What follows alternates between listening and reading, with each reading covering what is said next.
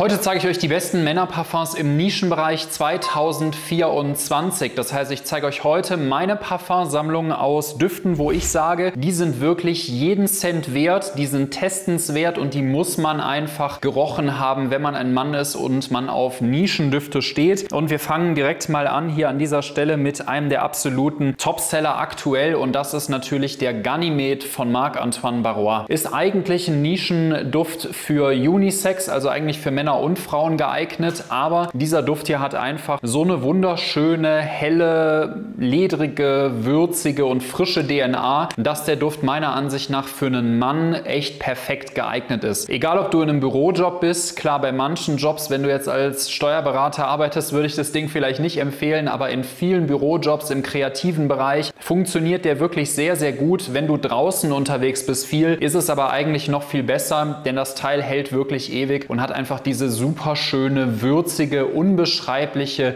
ledrige DNA und von der Preis-Leistung her wirklich geisteskrank. Also unter 200 Euro für 100 ml zu bezahlen, ist heutzutage eigentlich schon eine absolute Seltenheit und dafür so ein Weltklasse-Parfum zu bekommen, finde ich persönlich absolut Wahnsinn. Dann aus demselben Haus darf man natürlich auch nennen den Tilia. Das ist jetzt etwas, was vielleicht ein bisschen so in eine feminine Richtung geht. Wenn man jetzt aber ein super gestandener Mann ist, dann finde ich, taugt das Ding tatsächlich ich auch. Also ich habe letztens ganz liebe Grüße an der Stelle hier in München jemanden beraten, dem ich das Ding dann tatsächlich auch empfohlen habe und der hat sich das dann danach geholt. Ist eine absolute Maschine vom Körper her, also ich quasi mal drei in der Breite und er hat das Ding äh, gekauft und fand es wirklich sehr, sehr geil. Und ich finde, dass es ihm auch wirklich sehr, sehr gut gestanden hat. Von daher Tilia an der Stelle ein wirklich sehr, sehr schöner Lindenblütenduft. Tilia heißt ja Lindenblüte, also hat so ein bisschen was Blumiges, aber auch einen sehr frischen Charakter. Auch wieder eine extreme Haltbarkeit für die Art von frische, sehr, sehr toller Duft. Und sowas deshalb, ja, finde ich im Jahr 2024 absoluter Standard und eine richtig, richtig gute Empfehlung. Dann auf dieser Liste dürfen natürlich zwei Düfte nicht fehlen, die gerade bei Serjoff absolut im Hype sind. Und da habe ich auf der einen Seite einen sehr, sehr frischen Duft für den Sommer für euch und das ist der Torino 21, der seit seinem Erscheinen wirklich der durchschlagende Erfolg war für Serjoff. Also klar, wir haben natürlich Naxos und so Geschichten auch immer schon gehabt, die wirklich sehr geil waren, aber Torino 21 hat für so einen frischen Duft absolut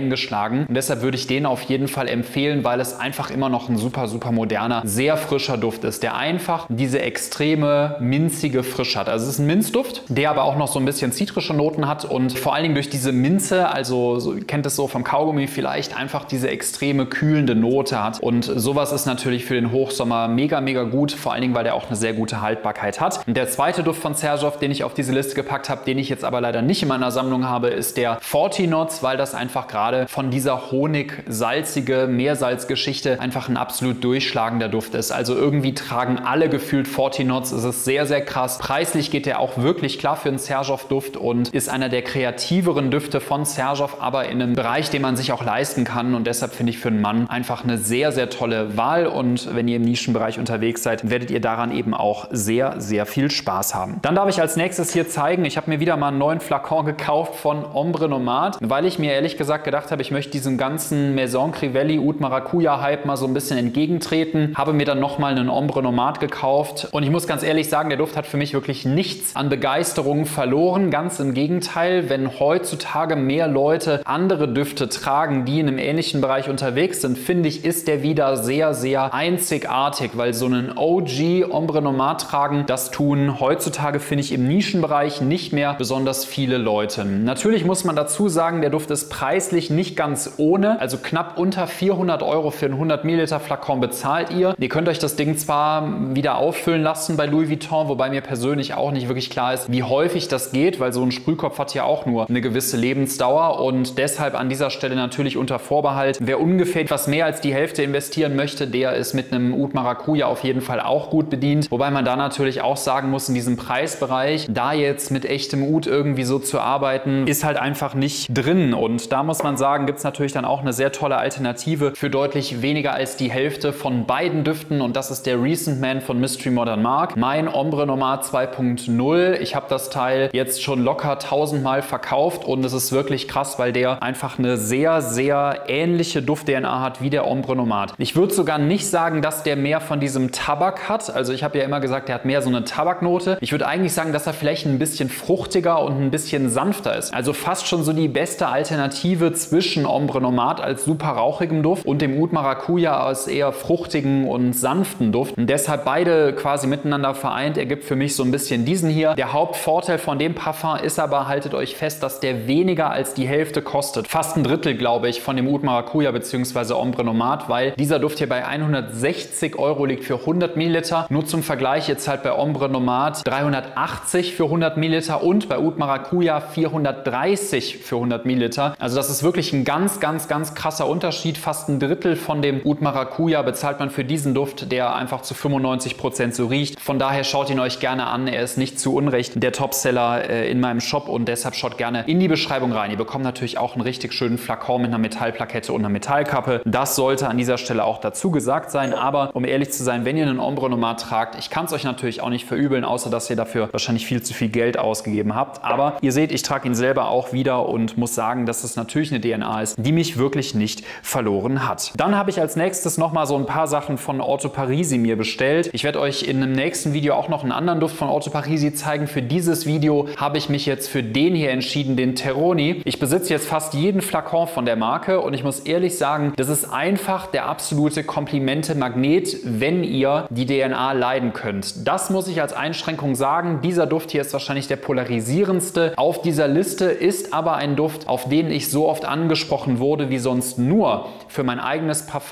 Oud 31. Also das ist wirklich der Komplimente-Getter schlechthin für mich persönlich. Ich würde euch empfehlen, den zu testen, aber ihr solltet damit leben können, dass das Ding vielleicht so ein bisschen am Zerstäuber, würde ich sagen, so leichte Aschenbecher-Vibes hat. Also es hat eine sehr, sehr einprägsame, rauchige Note, aber auch auf der anderen Seite irgendwie sowas von Karamell. Also könnt ihr euch das vielleicht vorstellen wie so eine verbrannte Karamellgeschichte. Also wenn man Karamell selber herstellt, hat der eine oder andere vielleicht schon mal gemacht. Da muss man sehr vorsichtig sein, dass das Ding nicht verbrennt. Ist mir persönlich schon passiert, dann raucht alles und stinkt. Und das ist ungefähr so ein bisschen der Vibe, der hier rüberkommt. Denn ihr habt ja auf der einen Seite diese rauchigen Noten, auf der anderen Seite aber auch irgendwas Süßes, Karamelliges und dann irgendwie auch noch so ein bisschen so einen ledrigen Touch. Und ich finde den Duft einfach phänomenal gut. Der wird besser, je mehr man ihn riecht. Und vor allen Dingen ist er einfach ein Komplimente-Beast. Und an einem Mann, sage ich euch ganz ehrlich, betont er einfach diese dunkle Seite. Also ich war ja auch nicht immer im Fitnessstudio unterwegs. Ich mache jetzt seit zwei Jahren CrossFit. Das sieht man inzwischen auch ein bisschen zum Glück, ja. Aber ich sage euch ganz ehrlich, ich war früher ein ziemlicher Lappen und da hat das Ding schon ein bisschen geholfen, dass man auch ein bisschen mehr Präsenz hatte, ja, sage ich euch ganz ehrlich. Von daher, dieser Duft hier kann ich euch ganz ehrlich empfehlen. Terroni von Auto Parisi ist auch nicht besonders teuer. Ich glaube 150 Euro zahlt man für den Flakon. Ist natürlich ein bisschen weniger als 100 ml, aber das Ding ist auf jeden Fall jeden Cent wert, kann ich euch sagen, an dieser Stelle. Dann kommen wir als nächstes noch zu so ein bisschen diesen herbstlicheren Düften oder winterlicheren Düften. Da habe ich natürlich auf der einen Seite hier den Sword Dancer von HFC. Für die Leute, die den ultimativen Luxus-Kick suchen, hier mit diesem super, super krass aufwendigen Flakon, ist einfach ein Duft. Der hat so ein bisschen alkoholische Whisky-Noten, aber auch irgendwie so eine leicht fruchtige Pflaume mit drin. Und der ist für mich einfach die beste Kombination aus diesen sehr sanften, cremigen, hellen Noten und auf der anderen Seite aus diesem super dunklen, alkoholischen, fast schon ledrigen Whisky-Touch. Und ich sage es euch ganz ehrlich, das ist der Topseller von der Marke. Absolut zu Recht. Der Duft hat eine Bewertung von 8,5 auf Parfumo, glaube ich, mit wirklich sehr, sehr soliden Werten, was die Haltbarkeit und äh, Sillage, also die Duftwolke angeht. Und ihr bekommt einfach für euer Geld eine luxuriöse Umverpackung, einen luxuriösen Flakon, eine luxuriöse DNA mit tollen Inhaltsstoffen. Und deshalb für mich persönlich diese Marke. Ungelogen, jeder, der diesen Duft probiert hat bis jetzt aus meiner Community, fand den richtig geil. Und genauso sieht es natürlich bei dem Private Code von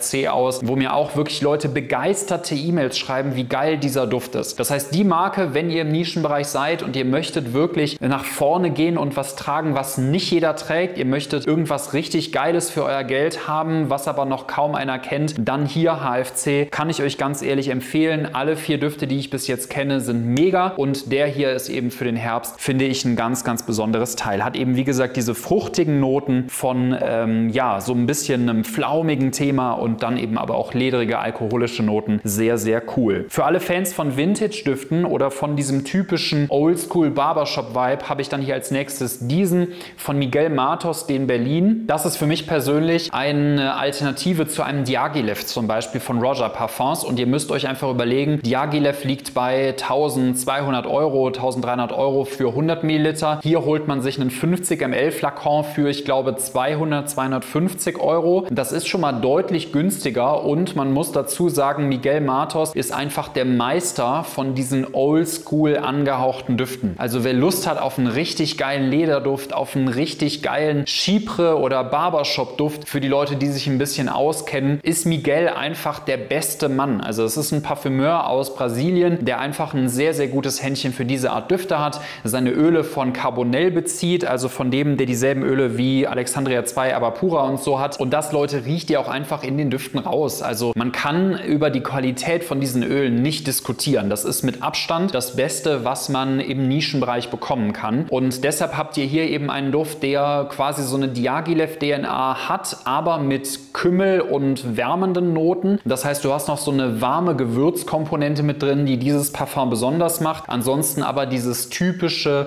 Ledrig-Moschus-Thema von Diaghilev und dieser luxuriöse Russen-Vibe, sage ich jetzt mal. Ob man so riechen will oder nicht, sei jetzt mal dahingestellt in der heutigen Zeit. Aber es ist auf jeden Fall ein Parfum, was wirklich einen Eindruck hinterlässt und was sehr, sehr maskulin ist, meiner Ansicht nach. Und deshalb der Berlin heißt er von Miguel Matos. Wirklich ein sehr tolles Teil. Kann ich nur empfehlen zu testen. Ist eine nischige Marke, die kaum einer kennt und deshalb an dieser Stelle der freundliche Hinweis. Dann, wenn wir in diesem Barbershop-Thema bleiben wollen, mein persönlicher Lieblings-Barbershop-Duft für teilweise 68 Euro pro Flakon. Haltet euch fest. Und eine Haltbarkeit von 12 bis 14 Stunden ist einfach der New York Intense von Parfum de Nicolai. Das ist ein Duft, der hat einen richtigen Barbershop-Vibe. Der hat aber auch Petit Gras mit drin und hat so ein bisschen noch einen Moschus-Touch. Der riecht für mich einfach wie eine luxuriöse Rasierseife. Und ich habe es gerade eben gesagt, Flakon 68 Euro. Das ist eine der Marken mit dem fairsten Preis-Leistungs-Verhältnis aller Zeiten. Denn ihr kennt das ja vielleicht, wenn ihr normalerweise einen 50 Milliliter Flakon kauft, ist der deutlich teurer auf einen Milliliter als beim 100 Milliliter Flakon. Bei Serjoff ist das zum Beispiel so, ich glaube Alexandria 2 kostet in 50 ml 395 Euro und in 100 ml liegt es irgendwo bei 700 oder 600 Euro. Und wenn ihr das mal vergleicht, zahlt ihr für den Milliliter bei der kleinen Größe viel, viel mehr. Und bei Nikolai ist das anders, denn hier liegt die 100 ml bei, ich glaube, 210 Euro und die kleine Größe bei 68 oder ich glaube 72. Also ziemlich genau ein Drittel für ein Drittel von der Menge. Ihr bekommt nämlich 30 Milliliter und könnt die Marke so einfach super bequem testen. Also es ist wirklich sehr entspannt. Man holt sich die kleine Größe, probiert die aus, dann gefällt sie einem und dann kann man sich einfach danach die große Größe holen, wenn das Ding leer ist. Oder ihr startet direkt mit der großen Größe, denn 200 Euro ist auch heutzutage einfach ein sehr, sehr guter Preis in der Nische. Wo alles teurer wird, die meisten Marken über 250 liegen, ist das hier wirklich ein sehr guter Deal. Vor allen Dingen für die Haltbarkeit von 12 bis 14 Stunden ist es wirklich, wirklich toll. Und deshalb bekommt ihr hier ein sehr faires Preis-Leistungs-Verhältnis. Erhältlich bei mir im Shop. Die Versanddauer hat sich dramatisch verbessert in den letzten Wochen. Und deshalb schaut gerne in die Beschreibung rein, wenn ihr Lust habt, diesen Duft hier zu testen mit Gratis-Samples und so weiter und so fort. Ich werde euch das alles einfach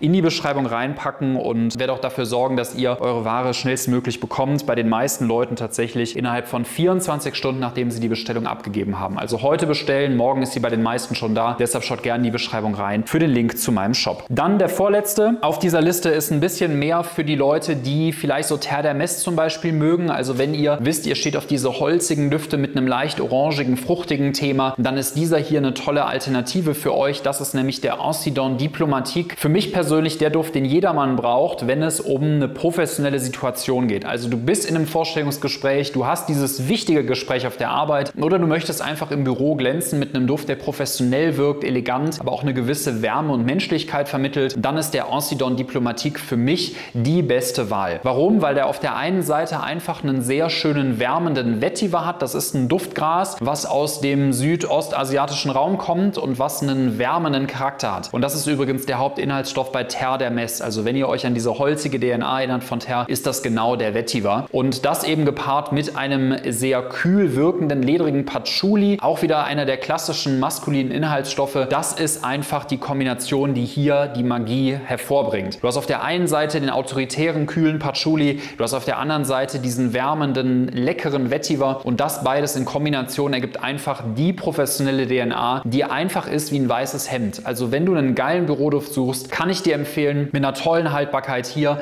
der Ancidon Diplomatique von Jovoy, massiver Glasflakon, schwere Metallkappe, toller Zerstäuber aus französischem Haus und das Ganze eben, ja, für mich persönlich einfach der professionellste Duft. Und weil wir jetzt ja gerade wieder noch so warme Temperaturen haben, habe ich zu guter Letzt noch eine wirkliche Top-Erfrischung für dich, wenn du zum Beispiel auf den Malibu Party in the Bay stehst von Simone Andreoli und du kannst dir vorstellen, diese frische Limette von einem Mojito auf deiner Haut zu tragen, gepaart mit einem Meersalzakkord, der nochmal ein extra Plus an Frische gibt und eine Haltbarkeit von halt dich fest 10 Stunden bei einem frischen Duft mit Zitrusnoten wirklich eine extreme Seltenheit, sage ich dir ganz ehrlich. Dann schau dir gerne mal den Bergamundi an von Pharmacia und du musst jetzt mal gucken, ich habe den Flakon dieses Jahr nicht ganz voll ausgepackt, sage ich dir ganz ehrlich, aber schau mal, wie viel davon schon weggegangen ist, weil ich das Ding wirklich jetzt die heißen Tage einfach getragen habe, weil der nämlich diese kühle, frische, säuerliche Limettenschale gibt, die einfach runterkühlt bis zum geht nicht mehr, gepaart mit einem Meersalzakkord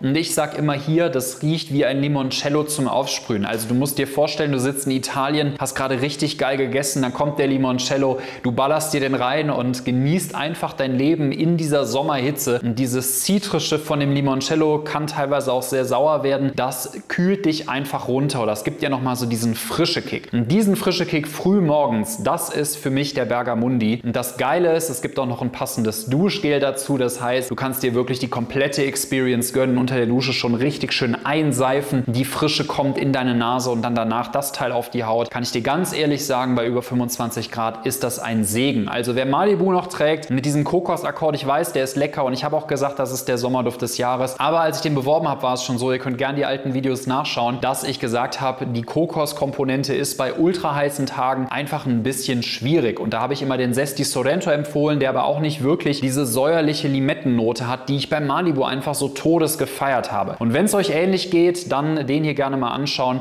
Finde ich auch für einen Preis von 168 Euro. Das ist auch so ungefähr in der Malibu Liga und deshalb schaut euch den gerne mal an. Link dazu auch in der Beschreibung drin. Ganz fantastischer Herrenduft. Das war's aber jetzt erstmal mit meiner Liste zu den Top 10, oder das sind glaube ich ein bisschen mehr, Männerparfums für das Jahr 2024. Meiner Ansicht nach wirklich die Crème de la Crème der Männerdüfte. Und ja, ich bin natürlich ganz gespannt, welche Empfehlungen ihr für mich noch habt. Schreibt mir das gerne in die Kommentare rein. Ich bin sehr gespannt. Und ja, ansonsten Daumen nach oben da lassen wäre natürlich auch nice. Freue ich mich sehr drüber und wir sehen uns gerne im nächsten Video wieder. Macht's gut, Leute. Bis zum nächsten Mal. Bis dann, euer Kai.